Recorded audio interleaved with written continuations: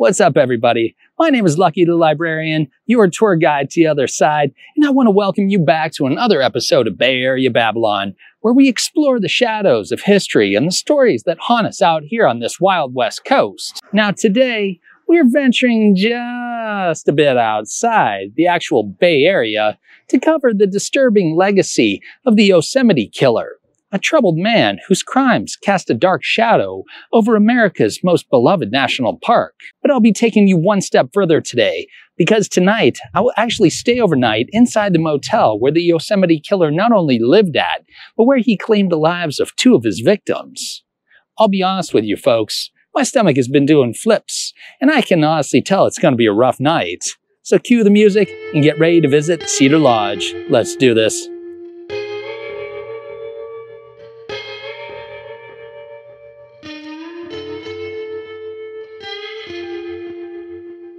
Yosemite National Park has been a beloved destination for generations.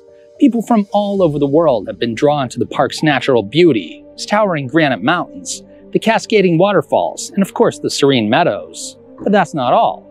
Yosemite also offers all sorts of outdoor activities from hiking to rock climbing to outdoor photography, making it a destination for both nature lovers and adventure seekers. But on the evening of February 15th, 1999, a shadow loomed over the valley, especially here at the Cedar Lodge Motel in the small mountain town of El Portal.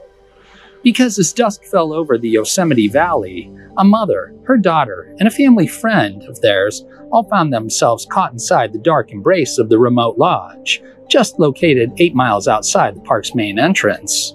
The girls were settling in for the night here in room 509 they were ready to watch a movie they'd rented from the motel when out of nowhere, they heard a knock at the door. It was the motel's handyman, and when asked what he wanted, he said he was just stopping by to fix a leak in the bathroom. The three tourists thought it was a bit strange. They hadn't noticed or reported a water leak, but still, the trusting trio invited the handyman inside their room. It was a decision they would ultimately regret. Carol Sund age 42, and her 15 year old daughter, Juliana, wanted their trip to Yosemite to be a memorable one. That's because they'd brought a friend of the family along with them 16 year old Silvina Peloso, an exchange student from Argentina. Now, Carol, well, she was real tight with Silvina's mother. They'd formed a friendship back when she herself was a foreign exchange student studying in Argentina nearly 30 years prior. And now, both their daughters had formed a similar lasting bond that mirrored both their mother's friendship. And with Silvina in town, and Julie just finishing up a cheerleading contest over in Stockton, the three were ready for some fun and adventure. But sadly, and unfortunately, the handyman, well, he was also looking for some fun, only a much darker, more sinister type. Once inside the room, the handyman pretended to inspect the leak in the bathroom. Then, before they could react, he pulled out a gun and overpowered all three women, binding and gagging each one of them. The handyman placed the girls on the bed, then proceeded to strangle Carol right there in front of the two terrified girls, before sexually assaulting each one of them. Next, the mad dog lunatic took Silvina to the bathroom, and he placed her right in the bathtub, right here, and he strangled the poor girl to death and placed both her corpse and Carol's inside the trunk of the Pontiac Grand Prix the trio had rented for their trip. The killer then drove the car down Highway 108, nearing the small town of Long Barn. Just north of the highway, he ditched the car with the two corpses still inside. Then he called a taxi to pick them up. He later returned to the car and torched it to a crisp. And as for Julie, well, that poor girl received the worst of it. She was assaulted multiple times, tortured, and then driven to a secluded area overlooking Lake Don Pedro, where the maniac then said to the girl, I love you, before slitting her throat, nearly decapitating her entire head. He then left her lifeless body out there alone in the wilderness.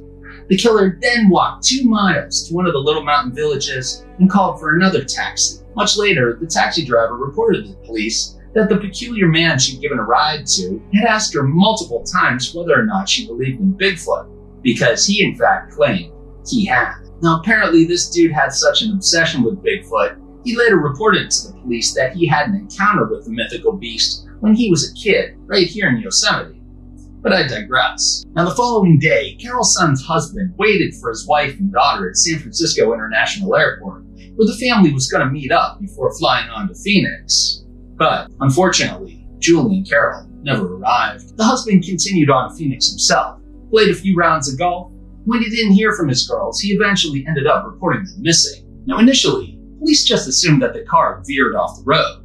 It was wintertime, and the winding roads and switchbacks in the area plunged into steep, dark canyons. It was the most probable explanation that they could come up with, and a massive search was launched thereafter. The authorities got thrown a huge curveball several days later when Julie Sund's wallet and driver's license were turned in to the police over in the town of Modesto. Then, a month later, on March 18th, the mystery of the missing tourists took a grim turn. And that's when a man out hiking he discovered the burned out rental car. When police arrived the next day, they discovered Carol Sund and Silvina Peloso's charred remains inside the trunk of the car. Their bodies were burned with crisp, making them completely unrecognizable. But thanks to dental records, their identities were confirmed. Several days later, police received an anonymous note with a diagram drawn on it. This indicated where Julie's body was located. And if that wasn't disturbing enough, the killer had written a personalized note to the police, taunting them and saying, quote, we had fun with this one, end quote. The police then followed the map and actually recovered Julie Sund's lifeless body. Now, around this time, the authorities began poking around the Cedar Lodge Motel here, questioning staff members and suspicious looking locals who milled about town. One of the motel employees questioned was this good looking, friendly guy named Cary Stayner. Now, Stayner didn't set off right at the start any alarm bells when being questioned. And overall, it was pretty cooperative, showing them into various rooms around the lodge here as they collected fiber samples. With no reason to suspect this guy for any wrongdoing, the cops let him get back to work, taking care of the property here. Now, what the police did not know at this time was that Cary Stayner's early life was marked by significant trauma and instability. His younger brother, Steven Stayner, was famously kidnapped when he was only seven years old, and then held captive by a pedophile named Kenneth Parnell. When Steven was a teenager, Kenneth Parnell kidnapped another little boy, this time a five year old boy from Ukiah, California, and he held him captive for two weeks before Steven said enough was enough. Then, risking his own life, Steven Stayner escaped from Parnell's clutches and took little Timothy White to the police. Steven Stayner was eventually reunited with his family and hailed as a hero. Steven's disappearance and eventual return was very, very heavily covered by the media. In fact, Hollywood produced a made for TV movie about the incident titled, I Know My First Name is Steven. Now, I have to say that seeing this movie when I was just a kid myself, well, was still pretty traumatic, and I was leery of all strangers after that. Now, Kenneth Parnell, he was convicted on kidnapping and false imprisonment charges. But here's the insane part he was sentenced to only seven years in prison and only served five of those. Less time than he actually held poor Steven Stayner captive. I don't know what to say about that, but what the actual fuck? If I had my way, Kenneth Parnell should have been hung by his heels and beaten with fungo bats. By the age of 24, Steven Stayner had become a husband and a father of two. But then late one night, he was tragically killed in a motorcycle crash. To add to the grief and sorrow, not long after Steven died, Cary Stayner's uncle was fatally shot in the home that the two men had shared, leading Cary to a series of mental, nervous breakdowns. Cary's struggle with mental health issues, combined with his desire for attention and notoriety, eventually led him to attempting suicide. Cary later claimed that the entire ordeal with his brothers being kidnapped had left a deep scar on his psyche. So much so that he always had to wear a baseball cap because he was compulsively pulling his own hair out. After the suicide attempt, Cary began acting wildly inappropriate towards women, and it was reported that he even exposed himself to one of his sister's friends. Eventually, Cary Stayner moved to El Portal to be close to Yosemite because he loved the serene environment so much. But that wasn't the only reason. He also wanted to move there to be close to Yosemite so he could continue looking for, guess what, so, Cary moved into a room directly over the restaurant here at the Cedar Lodge, and that's where he became the motel's handyman. And by the time July of 1999 rolled around, police were no closer to catching the tourist killer than when they had started. And if things weren't bad enough already, well, Let me tell you, folks, the shit really hit the fan on July 22nd, and Cary Stayner crossed paths with a 26 year old naturalist who worked for Yosemite National Park named Joie Armstrong. Joie was living with her boyfriend in a section of the park named Foresta when Stayner first saw her. She'd been packing up her car for a trip to Sausalito, and that's when Stayner pulled up in his 1972 Leaf Scout and attempted to make small talk. Now, Joie very quickly realized that something was quite off with Stayner, especially when he began to make small talk about, well, you probably guessed it by now, Bigfoot. Joie politely tried to disengage and get back to her packing. And that's when Cary Stayner pulled out a gun and drew down on her. He ordered her inside of her cabin, where he tied up her hands and covered her mouth with duct tape before placing her into his old truck, the 1972 Blue Scouts. Stayner hauled ass down the dirt road, while Joy looked for a way out. Being the badass that she was, Joie fought back against Stayner and even jumped out of the moving car head first. She managed to get to her feet and ran for her life. But Cary Stayner, well, he was too quick, and he came crashing through the brush right after her. He tackled Joie. He dragged her by the hair. This entire time, Joie fighting for her life. Stayner pulled out a knife and began carving up into the defenseless woman. But still, Joie continued to fight.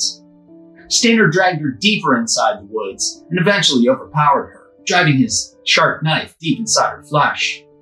He took hold of Joie's lifeless body, dragged her to nearby Crane Creek, and there, he decapitated her entire head. Stayner later admitted to the police that he wanted to keep the head for himself as a souvenir, and then decided against it and left it there in the creek. Now, after the horrific discovery of Joie Armstrong's body, the FBI was called in. Before long, they questioned Cary Stayner and even searched his truck, the one that Joie had just been in.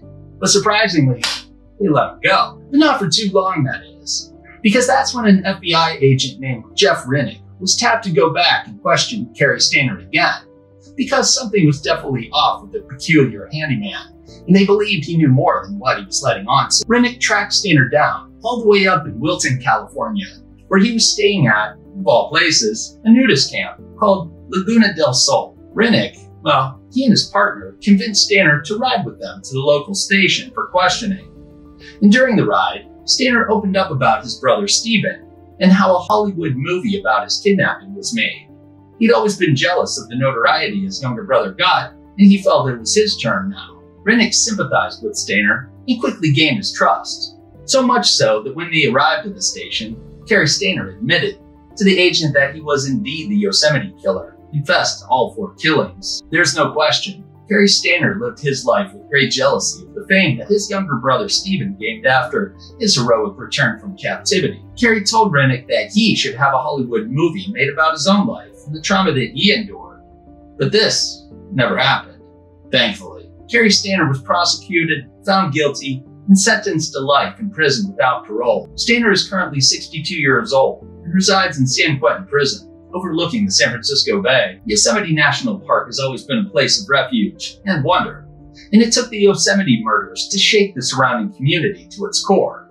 But it also brought them closer together. In the aftermath of Cary Stayner's reign of terror, memorials and services were held to honor the victims and to begin the healing process. The community's resilience and determination to move forward played a crucial, crucial role in restoring Yosemite's spirit. And today, Thankfully, Yosemite continues to welcome millions of visitors, offering solace, inspiration, and light to those who venture inside the park. Yosemite National Park will always endure a true testament to nature's resilience and the enduring spirit of those fortunate enough to get to experience it firsthand. And even though the shadows of the past may linger, they do not define the magnificent, magical place that it is. So until next time, my friends, stay curious, stay safe, and keep exploring.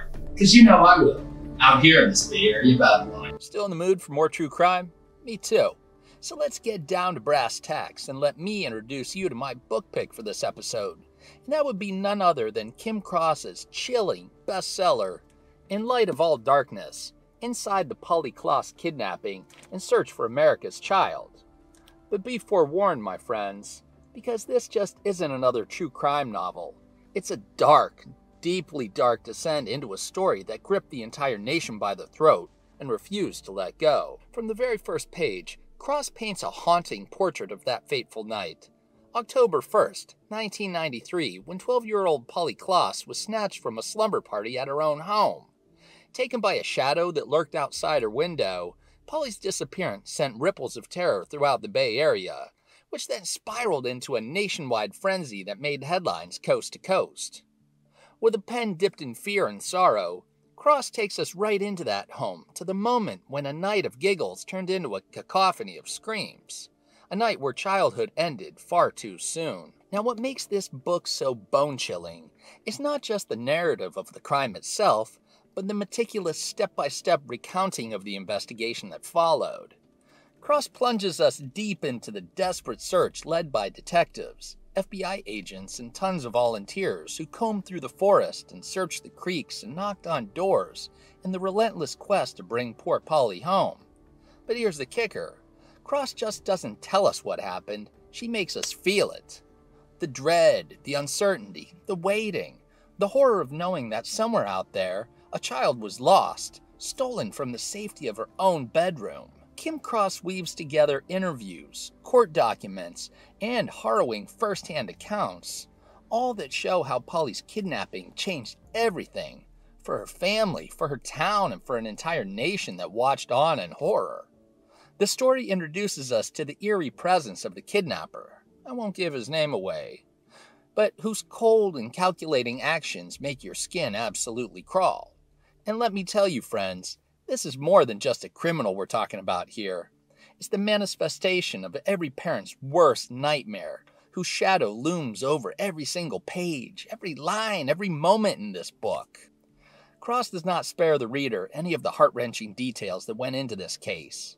She places us in the shoes of Marc Klaas, Polly's father, whose heartbreak is almost palpable, echoing throughout each chapter like a ghostly wail in the night. She also takes us inside the minds of Polly's friends who were there that fateful night, and whose memories of that terror linger like a thick fog over their lives. But the book also delves into the investigative side of unveiling this case in detail. Cross sheds light on the groundbreaking technologies and strategies employed by the FBI and local authorities, showing how this case became a turning point in the way missing child cases were handled. From the use of computerized facial recognition software to wide search efforts, we see how this crime advocated for great change, but at a cost. And then, of course, there is the darkness. A darkness that seeps into every single page, creeping into every corner of this story, reminding us of this fragile line between safety and chaos, between light and darkness. Cross does not allow us to forget that this is not just a story, its reality, and one that's sadly lived by so many. A reality where a child's laughter can be stuffed out in an instant, and where evil can knock on the door at any time of day or night. But this book isn't just a tale of terror, it's also a tribute. A tribute to Polly, to her spirit, and to the people who've refused to let her memory fade into the dark. It's a testament to the strength of a community and the power of hope, even when faced with the most unspeakable of crimes. You're brave enough to step into the shadows and face the chilling reality of one of America's most haunting cases. And get to your local library and pick up In Light of All Darkness. But be warned, this is a journey into the heart of darkness that will stay with you long after the book is closed.